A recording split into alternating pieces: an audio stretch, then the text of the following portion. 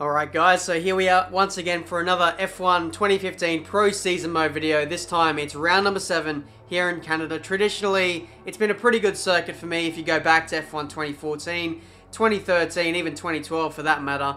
But uh, here we are for the 2015 season and driving in the Red Bull. It's going to be a very interesting round to see if we do well here.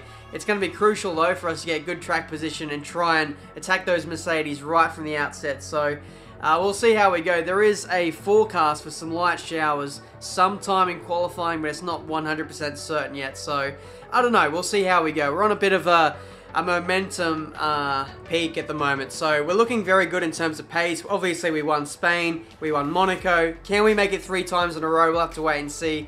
If you want to have a look at my setup here, here it is. You can pause it, the video and, and write it down for your own career mode. So uh, hopefully that'll help you guys out. But now we're under Q1. As you can see, the sky looks a little bit threatening, so I wanted to get a time in very early on a set of super soft tyres, and that's exactly what I did. Surprisingly, I actually went P1 in the session, which was uh, very, very surprising, very confidence-inspiring heading, heading into Q2 and obviously Q3. So since we did top Q1, it was almost no surprise that we made it through to Q3. Nothing really happened in Q2 apart from the fact that both Mercedes and both Ferraris qualified on a set of primes. So they'll be starting on prime tyres for the start of the race. And if we can get pole position in this session, that's going to make things very interesting for the race because we'll have much softer compounds and uh, we'll be able to pull away from the start. So that's exactly what I was focused on doing in this Q3 session. Coming up to the line, it looks like a very good lap so far. Heading up to the line and we get P1.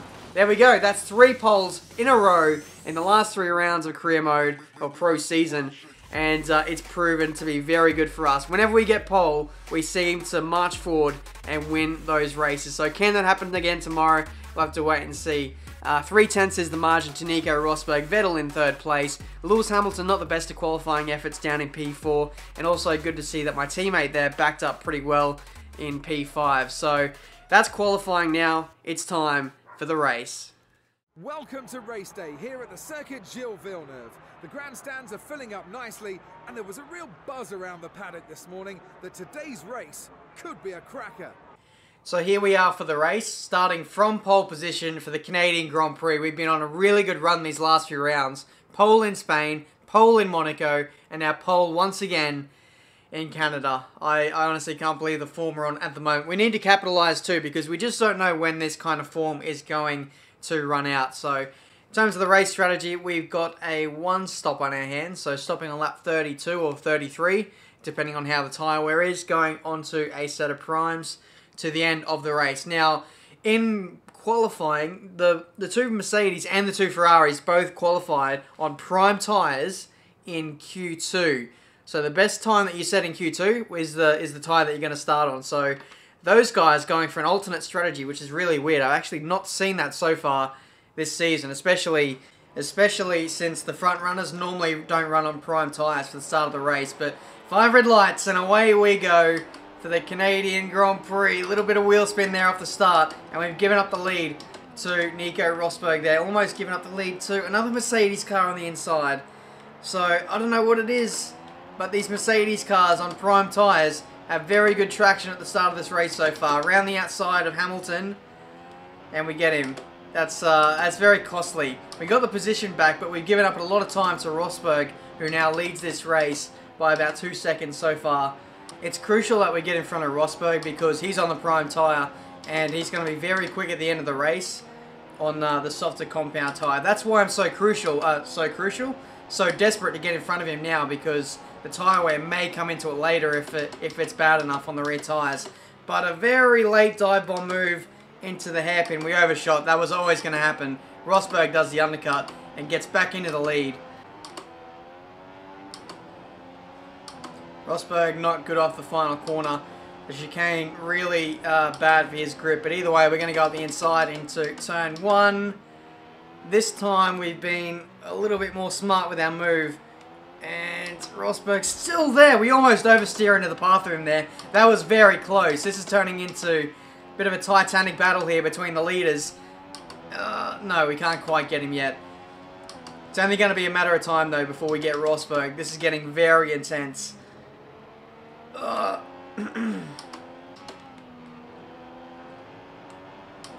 You can definitely tell he's on the he's on the harder compounder tyre because he's just all over the place and he's much slower in the middle of corners. As soon as we get in front of this guy, we're going to pull away because this option tyre is just that much faster than uh, his car. But either way, he's very good on the traction. He's very good on the exits and that's where all of his uh, lap time track position is coming from.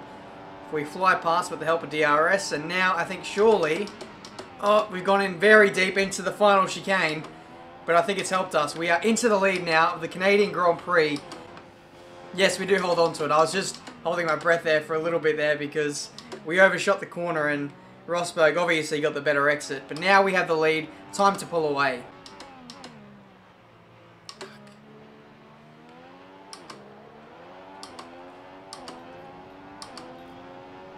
I can't believe I've just done that just after getting the lead, I've overshot the freaking hairpin, and now Mercedes are all over me here. I'm sort of all over Rosberg, but still, even with DRS, I was actually surprised he didn't get further up the road than what he did. There's contact! Every race, this seems to happen. There's always a bit of controversy, a bit of drama. What happens here? Who's at fault? I'm sorry my voice is just absolutely... It's death right now. I, I can't understand. Okay, let's ride on board with Hamilton here. We, He's probably got the best viewpoint. Codemasters! I didn't change the camera view, so why'd you change it on me there? Okay. Going through here, Rosberg is badly placed, and he's just, yeah, he's he's gone in too deep, and he's he's come into my line and spun out. And again, Codemasters, thanks for changing the camera view. We can see Vettel completely stopped there. I think that's because there's a yellow flag and he's not allowed to pass. Which is ridiculous because the Mercedes is in the wall. Like, what else can he do? Guys, I've carried on about 20 seconds down the road and checked the replay camera to see what's happening and yeah, it's happened again. We've got another almighty roadblock. Literally everyone in the field is stuck. Like, no one's moving. Uh, what's going to happen here? Someone's going to get disqualified here and then the rest of the pack is obviously going to carry on, but... I mean, look at this, a Toro Rosso, Force India, both Force Indias in the wall. Vettel just stuck there, he's not moving. Look at him, we fast, we go up to Vettel. First gear is engaged, and he's just not going anywhere. Codemasters, we had, we had the absolute shambles in Monaco, and now we have this. Five second time penalty for Vettel, illegal blocking. Yep, that one's fair enough. Now we have a five second penalty for Bottas, severe collision with Massa as well. So that's all that we have at the moment. I'm going to fast forward, I'm going to keep going, and then I'm going to check the, the replay camera again to see what happens and see if anyone gets disqualified. We may even go do the full lap and everyone's still stuck there, and the race might be over from there. But, yeah, what can you do? Like, when the track is blocked like this, that normally warrants a red flag, and because Codemasters have been Codemasters this year, there are no safety cars, there's no red flags, so what's going to happen by the time I come round to that part of the track again on the next lap? Is, is the race just going to end and that's going to be it? Let's have a look. Everyone's still stuck here. I think Vettel has actually got disqualified now. Look at the Manor. Look at the Manor. It's on the inside of the track and he's gained all those positions. oh, wow. Okay. So here's the replay after we continued on a few more seconds. The Manor moves into in front of that group, and I think that's the chain reaction that stops it all. So everyone carries on after that. I don't know if anyone else was disqualified, but this Sauber doing some weird things. So what, what is going on? This this game is, uh, it's a good game. Like just driving, the pure driving mechanics of it, but for glitches, for things that shouldn't be happening, this game is honestly the worst. This is why we need safety cars back in the game. We just would have called it out. It would have been fairly simple to introduce right there. Would have fixed the race. Or even a red flag. That was easily a red flag situation right there. But no. Roberto Merhi is in position 6. Let that sink in. Will Stevens as well. In position 10. Both Manors are in the points. I, I'm, I'm very interested to see how this progresses for the rest of this race. Can one of the Manors finish inside the points? We'll have to wait and see. First lap car of the day. If you have a quick flashback to Monaco. Oh! Wow. Oh, I was about to say, we flash back to Monaco. This time last round, we crashed with uh, Roberto Merhi, I think it was, and we came very close to that happening again. If he would have hit that wall any harder, he would have rebounded into my path and possibly taken me out of the race there. Whoa. Yeah. Another car bites the dust. Hamilton is behind you. They've entered the pit lane. 44 laps to go. So Hamilton started on primes and he's just come into the pits. I'm not supposed to come in for another six laps. So what's going on with the people who started on primes? This is a very dud strategy. It looks like it might be a two-stop. A set of options is not going to do 44 laps around Canada. It's just impossible. So these guys are all doing two stops. Well, apart from everyone else who started on options with me, I think everyone else will be on a one stop as well. 15 minutes till we expect the heavy rain to arrive. Really? So if heavy rain is coming Options on your next in 15 minutes time, then we're going to come in straight away, put on a set of option tyres because we're only due to come into the pits very soon anyway. So we may as well get the benefit of another set of tyres because our current set aren't going to make it until it rains. So we'll get the benefit of another set of fresh tyres. And even if it didn't rain for a while, this set can last 30 laps. That's literally the majority of the race. We could chuck on a set of primes from here. Even if it doesn't rain, make it to the end and probably still win this race because Hamilton is about 20 odd seconds behind thanks to his very dud strategy stopping or starting on the primes and just uh, not having the pace. Oh, McLaren Honda, don't do that. Do not do that. That is so risky. And I just almost crap my pants every time they do that. Let's see if we can pass maybe both Lotuses into turn one. Getting past Grosjean will be a bit of a stretch. Actually, no, it won't be. Oh, we almost, we almost got him too. Can you get out of the way, please? He's on prime tires and probably old ones at that too. Okay, buddy. Oh, oh, these AI cars. They take so many risks when they when they try and let you through. Blue flag cars are just as dangerous as as landmines. Go away. Go away. Why are you overtaking me? You're only going to let me through anyway. Oh, here comes the other Lotus.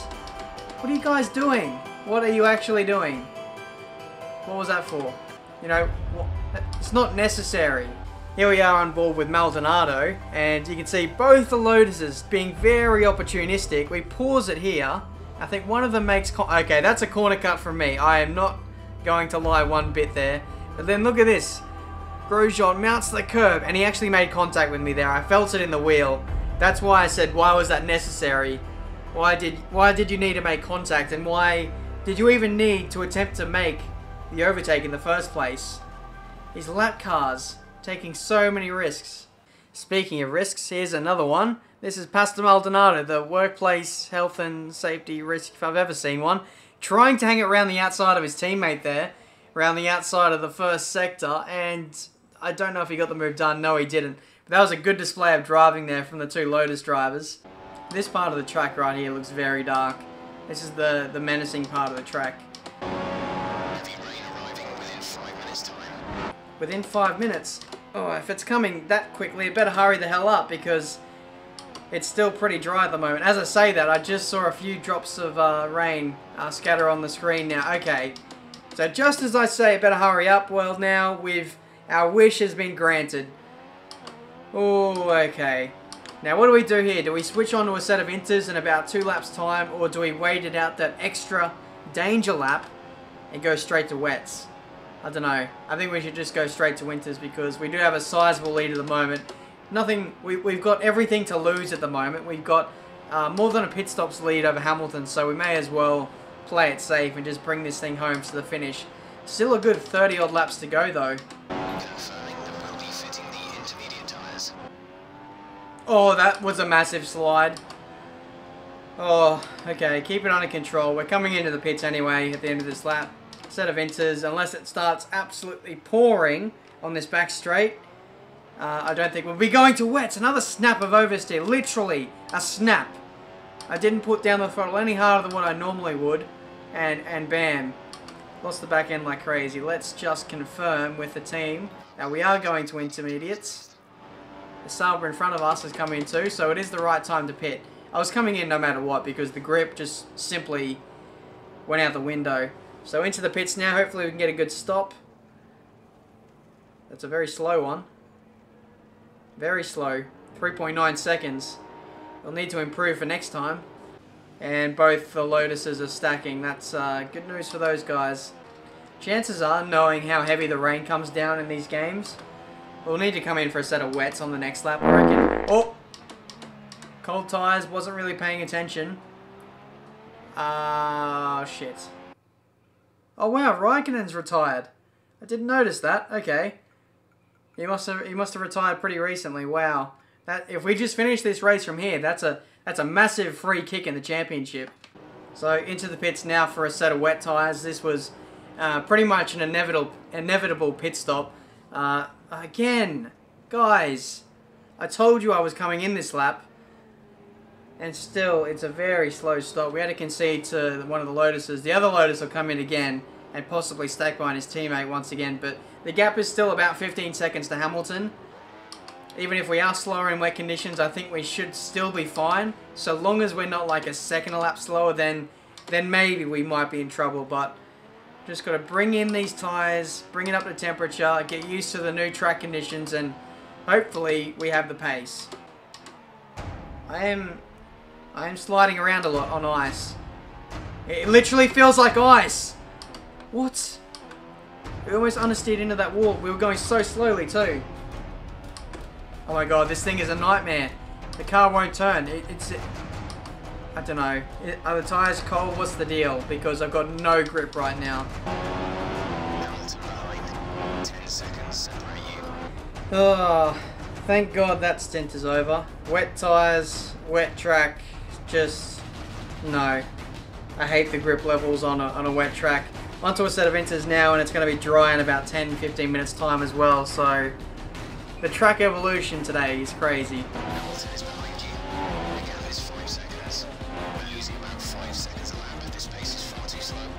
Oh. Losing five seconds a lap, okay, whatever. Uh-oh. Uh-oh, uh-oh, uh-oh. Hamilton is coming, and he's coming quickly. Oh, no. I get the feeling that Hamilton's just come in, and we've been hung out to dry on a set of inters for a lap too long. I think, yeah, I think that's exactly what's happened.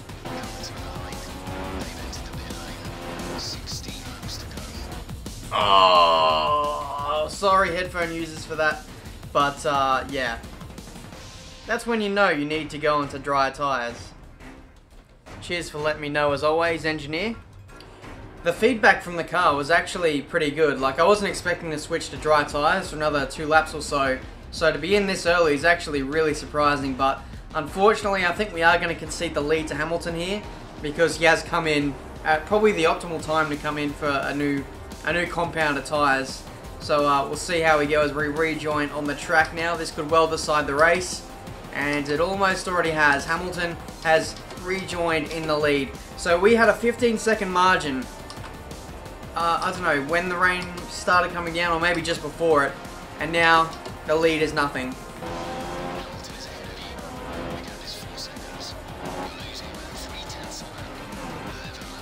Come on. We parked this thing on pole and we were so fast at the start of the race. How are we not catching him? I need the slipstream Manor, thank you very much. Come again next time. Actually, can you slow down and hold up Hamilton again within the next five laps? Actually, knowing your pace, you probably will get lapped again. Okay, so we need to get out of the way right now. Right now. Thank you. Okay, out of the way. Nice slipstream. See you later.